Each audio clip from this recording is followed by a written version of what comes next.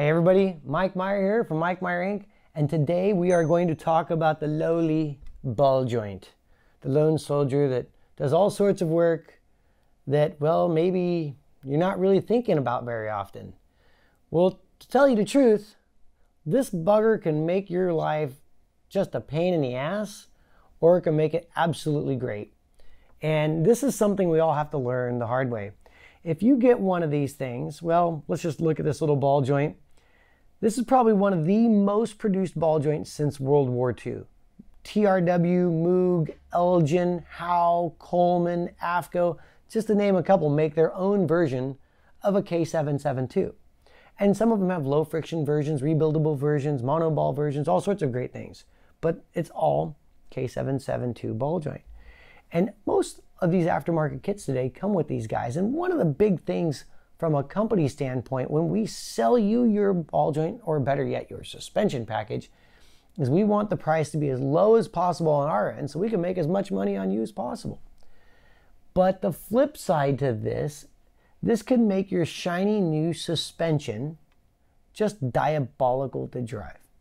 If you have a ball joint where the machining is kind of substandard, where it's moving around in its pocket left to right just ever so slightly, your car is going to hunt and grab ruts in the road and make you jump a quarter lane. And you're going to have the death grip on that steering wheel and sweating bullets every time you go somewhere. And you're going to be lying to yourself how great that car is. Sound familiar? so, as we started getting into making our own tubular arms and dealing with ball joints, we started finding all sorts of crazy variations. This batch of 100 was this size. That batch of 100 ball joints was that size. Oh, by the way, this other batch, the threads are completely different than the previous batch.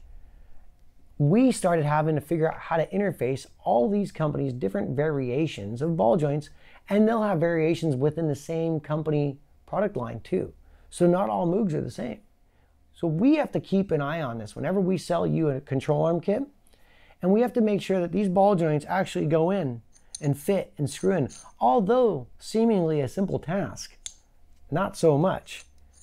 When we create our own ball joint ring, right here, excuse me, the ball joint ring, the tolerances in which we make this have definitely an effect on how easy it is for you to replace a ball joint down the line.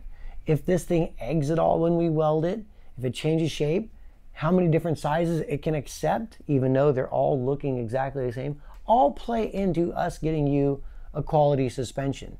So when you buy your suspension from MMI, we really try to pay attention to the bare bottom, lowly little ball joint and how that can make your car great or an utter pile. So the Mike Maier Inc. suspensions definitely have a lot of attention put into lots of little spots, even to the lowliest person on the totem pole, because sometimes they're the most important. I hope you learned something here. Thanks for tuning in. We'll catch up with you next time.